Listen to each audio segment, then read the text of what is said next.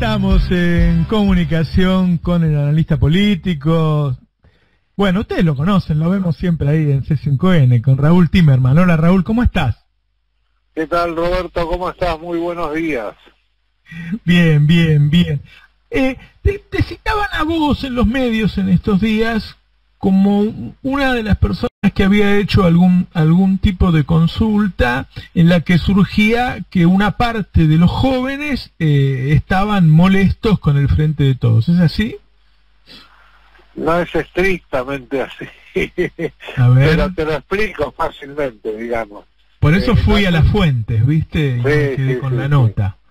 Eh, el tema es el siguiente. Primer punto. Todos los jóvenes que se acercaron a la política durante el gobierno de Néstor y Cristina y que se entusiasmaron y que empezaron a formar parte de, ya sea de la cámpora o de algún tipo de organización colina cercanas a ellos, hoy tienen más de 29 años. Primer punto. Mm. Nosotros lo que medimos es lo siguiente medimos cercanía con espacios políticos a nivel país para el total del electorado y como nosotros hacemos un termómetro con Sheila Wilker, hacemos un termómetro de la clase media, también hacemos grupos focales de clase media, de votantes blandos del Frente de Todos y de Juntos por el Cambio. Votantes blandos son los que pueden cambiar de voto, mm, porque mm. la, la, la hipótesis que tenemos es que la clase media termina definiendo quién gana las elecciones. Fue así cuando ganó Macri, fue así cuando ganó en primera vuelta Alberto Fernández. Eh, gente que había votado a Macri después lo votó Alberto Fernández. Bien, ¿qué es lo que notamos nosotros? Nosotros notamos que a nivel de total país, el grupo Vamos, que es el grupo de Esper, donde se juntan liberales y libertarios, tiene del orden de ocho puntos. Cuando hacemos la apertura por edades, en la edad que va de 16 a 29 años, tiene 17 puntos. O sea que joven masculino es el que más se acerca a esos grupos libertarios que básicamente el pensamiento es rompan todo, la antipolítica, el antisistema, son grupos de derecha bastante radicalizados, digamos, donde se mezcla de todo, pero básicamente es la antipolítica, ¿no? A ver, no, y es, en, en, en ese sector está bien expert, sí. Es lo que no me termina de quedar claro, porque si no parece que un grupo etario que antes pensaba una cosa, ahora piensa otra. No, lo que pasa eh, es que yo me imagino que no, porque la cámpora sigue teniendo una mucha fuerza en la, en la secundaria, qué sé yo, yo los veo cuando los veo en la calle Efectivamente, esto es, es solo 17% de ese grupo etario. Lo que pasa es que al ser casi el doble o el doble de lo que es en el total del electorado sobresale, nada más. No, no es más que esa información. Eh, yo, te voy a decir una cosa, hay, si la pregunta es si hay gente que votó al frente de todos y está decepcionada, sí hay, aproximadamente un entre 18 y 22% de los que lo votaron. Esos son aproximadamente 10 puntos. O sea, y vos efectivamente, si me dice a nivel país, el Frente de Todos que ganó con 48 puntos, hoy está en 34 35 abriendo casi 30% de indecisos. Pero está 9 puntos arriba de, Juntos por el Cambio, de Cambiemos, digamos. Y ahí es donde aparece el grupo de estar con, con 8 o 9 puntos. Ahora bien, cuando vos haces preguntas que son posiciones favorables o desfavorables eh, a posiciones del gobierno, te aparece alrededor del 20%, porque después lo cruzás con qué votó esa persona en la última elección, alrededor del 20% de los que votaron a Fernández aparecen opinando junto con los que votaron a Mauricio Macri. Y ahí hay un grupo de decepción. Cuando vos profundizás y decís, bueno, pero si la elección volvería a ser Mauricio Macri versus Fernández, la mitad de ese grupo vuelve a votar a Alberto Fernández. O sea, vos tenés que mirar todo el contexto cuando mirás una encuesta y estar seguro que la encuesta no está operada. Porque ahora están apareciendo encuestas empujando a dos cosas, empujando la candidatura de Florencio Rondazo, eh, sobrevalorando la cantidad de adeptos que tienen y empujando la posición de Juntos por el Cambio en la provincia de Buenos Aires, pero básicamente está operada por gente adentro de Juntos por el Cambio que quieren que María Eugenia Vidal juegue en la provincia. María Eugenia Ahí está, claro.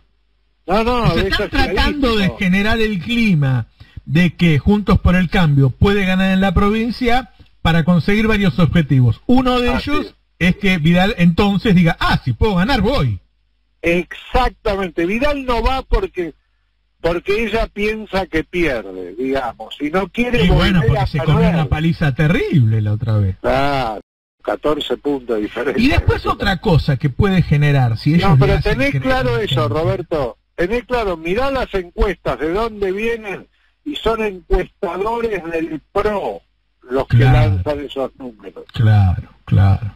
No, y otra cosa que siempre generan, si ponen en duda el triunfo del frente de todos, es que, viste, algún intendente empiece a decir, bueno, pongo una fichita acá y otra allá, cosas por el estilo, como suelen suceder, ante la duda de que las cosas no vayan bien.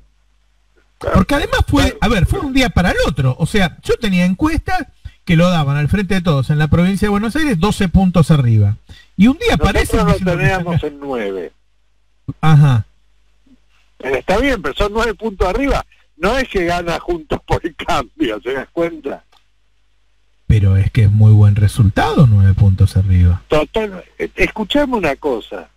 Estamos en prácticamente en default con el Fondo Monetario Internacional y con el Club de París. Estamos con los con la pandemia encima, tuvimos parálisis en la economía, todos los gobiernos, todos los oficialismos del mundo se cayeron con la pandemia. ¿Por qué pensás que no va a disminuir la, adhesión a este oficialismo? Por supuesto, sucede siempre, especialmente cuando no hay elecciones. Ahora, veamos el momento cuando hay candidatos por cada uno de los de los frentes.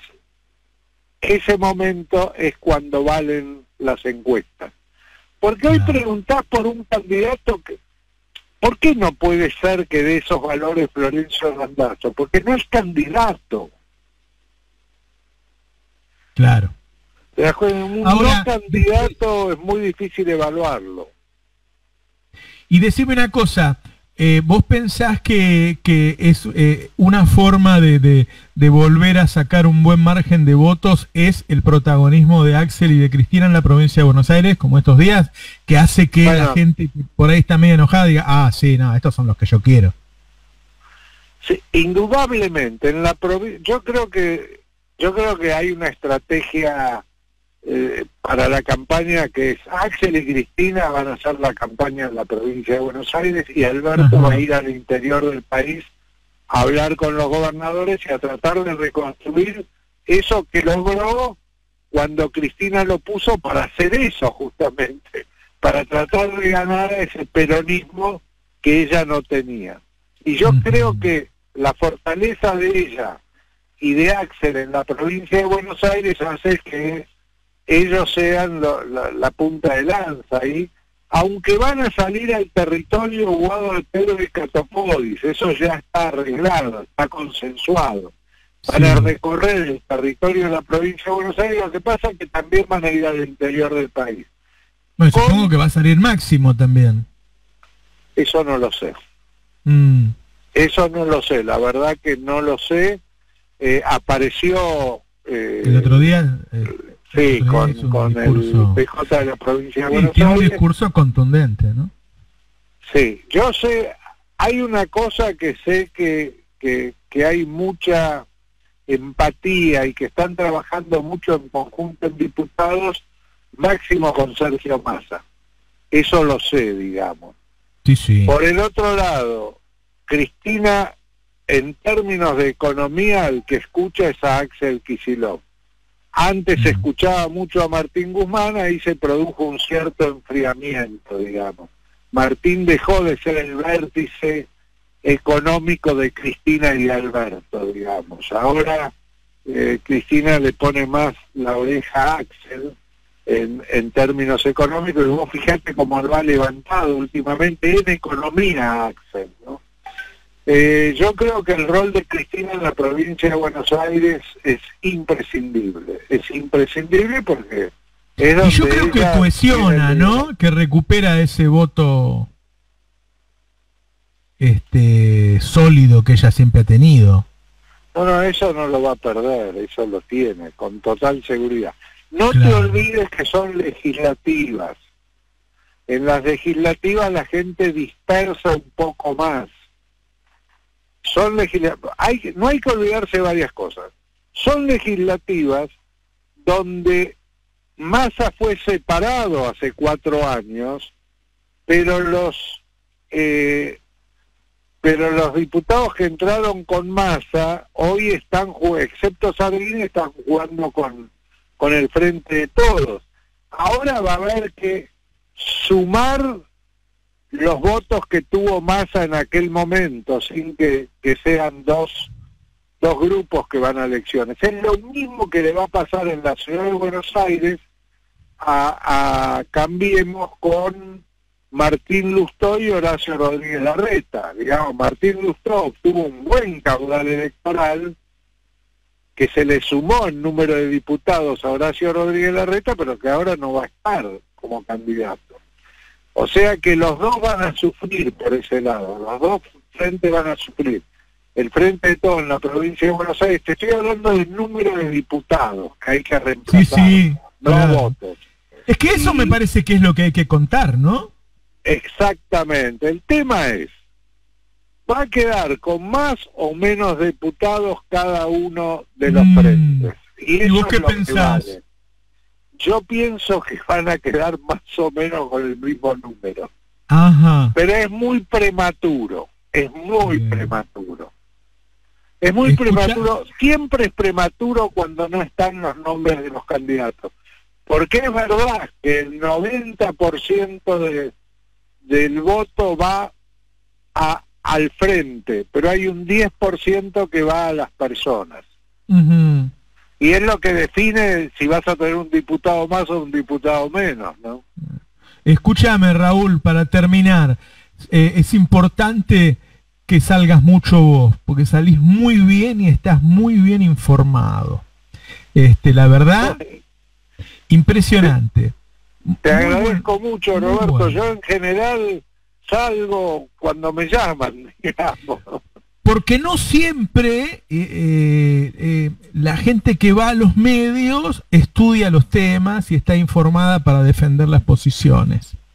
Este, Sí, yo ese es un trato de ser lo más obje- Yo no soy un militante político, yo soy un analista político que votó por el Frente de Todos y que simpatiza con el Frente de Todos. Claro, Y vos claro. me preguntás, hay cosas a mí, yo hubiera esperado algunas otras cosas, pero yo soy de los que dicen, si vuelvo a ser Alberto Fernández o Mauricio Macri, vuelvo a votar por Alberto Fernández, no tengo dudas en ese sentido.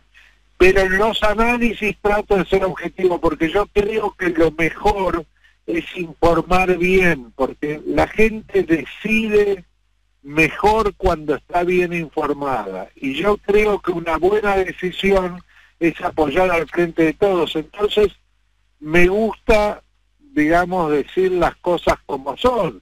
Incluso hablo con todo, fíjate que la tapa de la Nación de ayer está hecho con, con información, aunque el título, el título lo pone el diario, vos eso lo conocés. El título es medio engañoso, por eso te llamé para que aclararas eso, porque me daba cuenta que después la información hablaba de porcentajes muy pequeños de jóvenes. Ah, no por estaban. supuesto. Y eh, en- a nivel país la situación es así. En clase media están empatados. Mm, Y en total país eh, lleva nueve puntos al frente de todos. Cuando tomás todo el electorado son nueve puntos arriba del frente de todos. Cuando tomás solo clase media están empatados. Claro, claro. Raúl, muchas gracias, muy amable. Un abrazo. al contrario, Roberto, a tus órdenes y mucho éxito con el programa. Gracias.